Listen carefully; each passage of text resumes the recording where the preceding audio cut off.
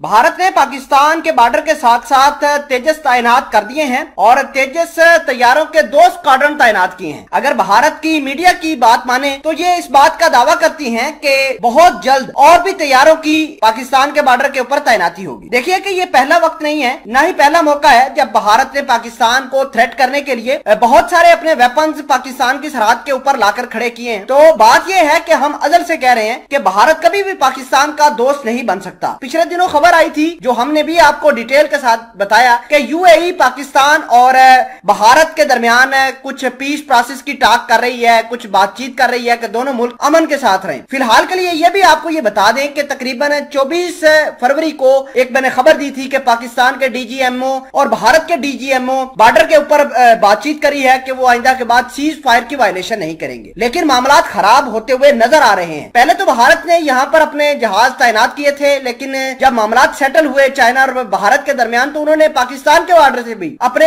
हथियार वापस हटाना शुरू कर दिए। लेकिन अचानक से फिर ये हथियार सामने आते हैं। अचानक से फिर दो स्क्वाड्रन जो है, वो पाकिस्तान के बॉर्डर के ऊपर तैनात करने की खबर निकलती है। तो इसके मकासद बड़े हाई लेवल के ऊपर है। वो मकासद आपके साथ शेयर करेंगे कि भारत की इंटेंशन क्या है। कि एक तरफ़ तो उसने पाकिस्तान से दोस्ती का हाथ बढ़ाया है, और दूसरी जानब उसने अपने बॉर्डर के ऊपर पाकिस्तान के खिलाफ अपने तेजस तैनात कर दिए हैं। तो मामला को बड़े आसान अल्फाज में आपके साथ शेयर करेंगे। छोटी सी गुजारिश है कि जो दोस्त हमारे इस चैनल हसना टीवी पर नए हैं, वो हमारे चैनल को सब्सक्राइब करके पास मौजूद घंटी के निशान को दबा लें, ताकि लेटेस्ट न्यूज़ उन तक बर वक्त पहुँचती रहे। दोस्तों, सबसे पहले तो आप ये जानिए कि भारत ने दो स्क्वाड्रन तेजस के तैनात किए हैं पाकिस्तान के बॉर्डर के ऊपर, और ऐसे वक्त में किए हैं जब डीजीआईएसआई इमरान खान और पाकिस्तान के कमर जावेद बाजवा साहब जो है, वो आईएसआई का दौरा करते हैं। और आपको ये भी बता दें कि उस दौरे के अंदर इसराइल के पॉसिबल थ्रेट को भी डिस्कस किया गया था। पाकिस्तान पाकिस्तान के बारे में ये खबर आई थी कि पाकिस्तान और तुर्की जो है, वो उर्दन के अंदर, जॉर्डन के अंदर या फिर इराक के अंदर अपनी एयरफोर्स तैनात कर सकते हैं। इस चीज़ को भी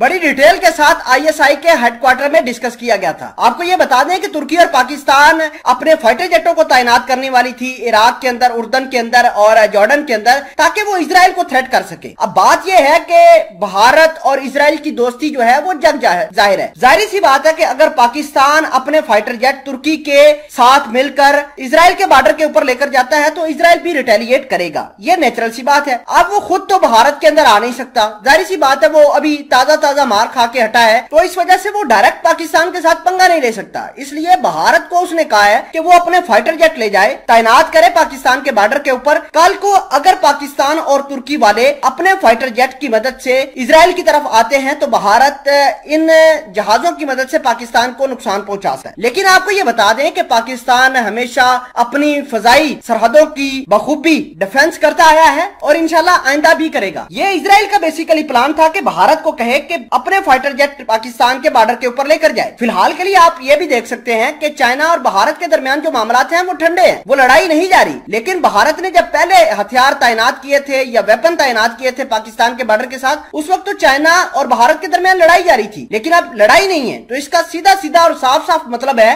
कि इसराइल ने भारतीयों को कहा है कि दो स्क्वाडन अपने तेजस हथियारों के पाकिस्तान के बॉर्डर के ऊपर तैनात कर दो। लेकिन तेजस कितने ताकतवर हैं, ये भी हमें पता है। पाकिस्तानी बखूबी जानते हैं कि तेजस के अंदर कितना दमखम है। ये पाकिस्तान के एफ़ सिक्सटीन या फिर जे एफ़ सेवनटीन थंडर का एक झटका बर्दाश्त नहीं कर सकते।